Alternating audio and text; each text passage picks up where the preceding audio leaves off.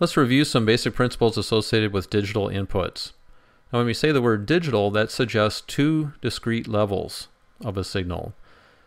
I'll use this triangle to denote the input electronics for a digital input. And I'll keep track of the actual input voltage as Vin of t. Now this is always an analog signal regardless of whether or not you say it's digital or analog. What makes it digital it really is the interpretation of that analog signal. Let, let me show you what I mean. Let me keep track of the analog signal Vin of t as a function of time. And this is a waveform that looks pretty digital in the sense that it has basically two distinct levels. I'll put a threshold between the two. Anything below that threshold we can interpret as, say, logic 0 exactly. And if it's above the threshold, then we would interpret that as a logic 1.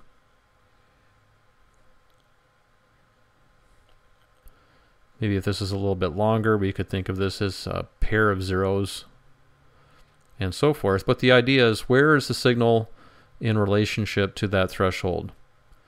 Now let me draw something that looks much more uh, analog in nature, for example, kind of wanders around, has a whole variety of different values. So a characteristic of what people refer to as an analog signal is something that is continuous and has many levels. So as that signal kind of wanders around, it, it again boils down to is it above or below that threshold? So maybe it's we could think of this as one momentarily, then back to zero, one for a little bit, back to zero for a while, and so forth.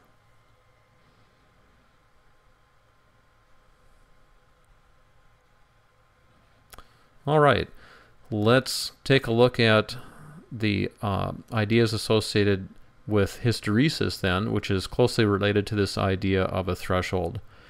Hysteresis is a property of a digital input that reduces sensitivity to electrical noise.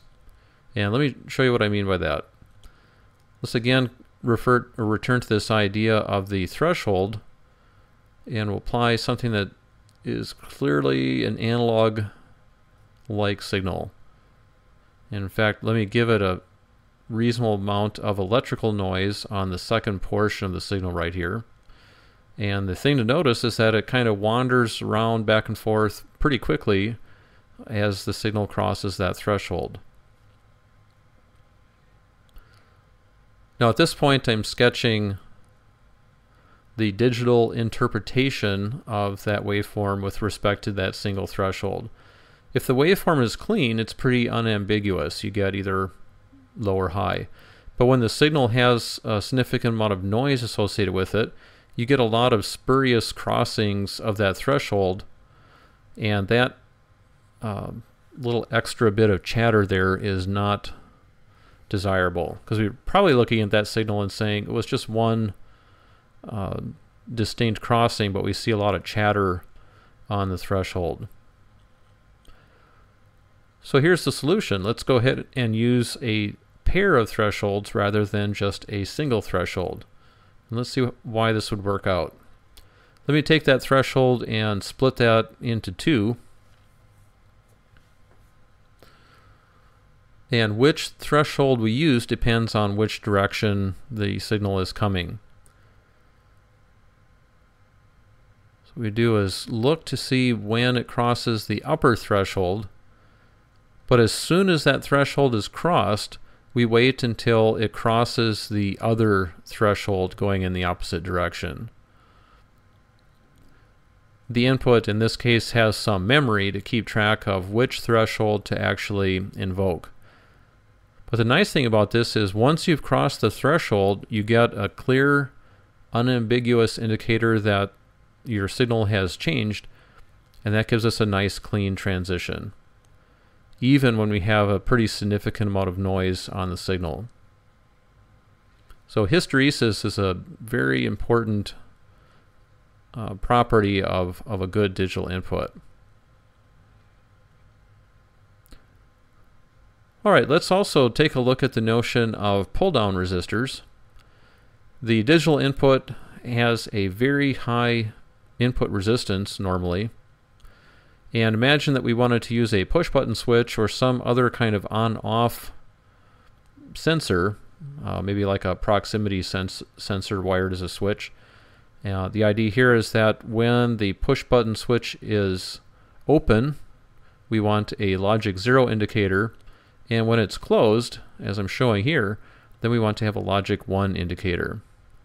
Now clearly, when the push button switch is closed, we've got a nice solid connection of 5 volts to the digital input, and we get a clear indication of logic 1 for our interpretation. But now when the push button switch is opened again, if you think about it, it's really not very clear what voltage the digital input is at. Now, we ultimately wanted to give us an interpretation of zero, but is that actually possible based on the circuitry that I'm showing here? So what we really have is a what we call a floating input, meaning that the input signal is really not clearly connected to, to anything in particular. Therefore, its input voltage will vary considerably according to circuit noise and other extraneous types of signals. The solution then is to add a specific type of resistor known as a pull-down resistor, uh, and we'll go ahead and place that right here. This resistor connects down to ground, and the idea is to basically anchor that input to a known signal when the button is not being pressed. Again, since the input has very high input resistance, that current is pretty much zero. Well, if the switch is open, there's no current there. Consequently, we only have uh, zero current through the resistor. Now, based on Ohm's law, we know if we had negligible current, we also have negligible voltage drop as well. And basically what that says is that the resistor now looks like a weak short to ground. And this input then is attached not as solid as a as a, a, piece of wire, but it's certainly seeing zero volts. So our interpretation then works just fine. Now the myDAQ DIO inputs include this uh, pull-down resistor as a 75K device. And also wanted to again uh, mention that the pull down resistor reduces external circuit complexity, especially when you're using switches on the inputs. And lastly, the hysteresis that I was mentioning earlier, that's included too.